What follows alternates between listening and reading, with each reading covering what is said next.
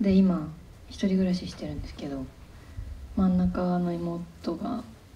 居候状態でうちに 住み着いてて一人ぼっちじゃないなっていう感じです。すごい生活レベルの低い妹でレトルトカレーの作り方が分かんなくてググったって言っててやばいなこの人と思ってでも置いといてます。マネージャーの金子君っていう若いあのマネージャーがいるんですけど迎えに来てくれて僕がその日の気分の曲をかけるんですけど何を喋るでもなく2人でその曲を聴いてるみたいな時間があってでもなんか言葉を交わさなくてもなんかこう一緒に共有してる時間っていうのはやっぱり